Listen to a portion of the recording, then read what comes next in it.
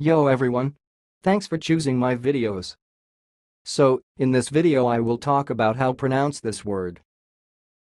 The pronunciation of this word is sounds like Tangilin Tangilin